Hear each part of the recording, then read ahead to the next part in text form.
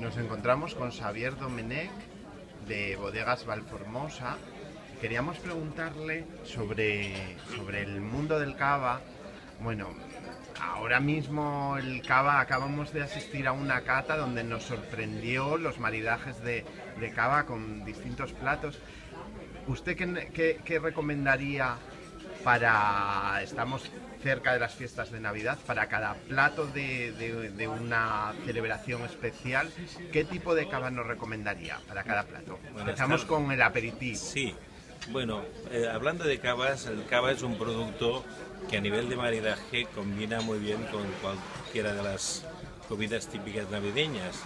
Pero para un poco aconsejar un- el tema de maridajes, podríamos empezar con un cava rosado, un cava joven, una monastrella, una garnacha, para tener una idea, para un aperitivo.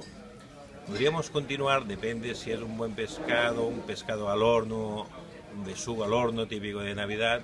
Podríamos continuar con unos cavas ya de crianza, unos cavas de más de 24 meses, unos cavas ya reservas o grandes reservas. Podríamos introducir hasta un poco la variedad de Chardonnay, que le aporta una acidez, también aporta su estructura y cuerpo.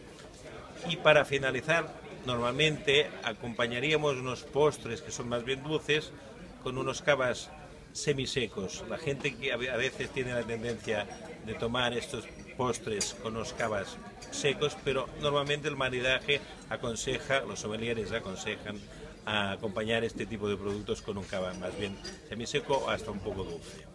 ¿Y qué recomendaciones nos daría para enfriar un cava? Porque vemos que hay por ahí algunos que hacen unas prácticas un poco, Bueno. digamos que agresivas. Es- es- esto lo, lo importante normalmente es eh, para el tema de los cavas tener, si puede ser, al menos en mi casa, en nuestra bodega, a, a nivel particular, poner el cava, si puedes, 24 horas antes en la nevera. Depende del cava a una cierta temperatura u otra, ¿no?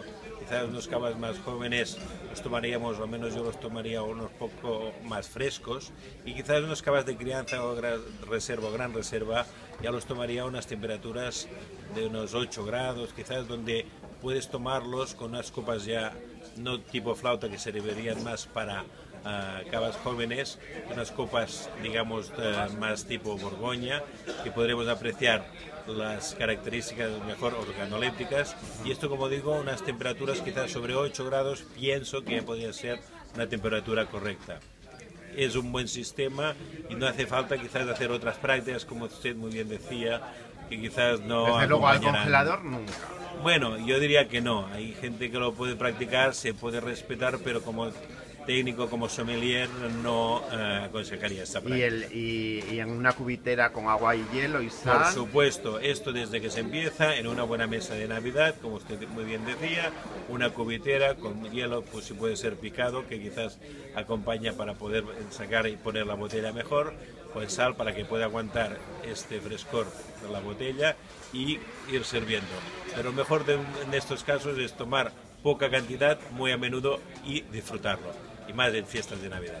Y el tipo de copa que estaba mencionando, hubo una época que estaba de moda la copa Madame Pompadour.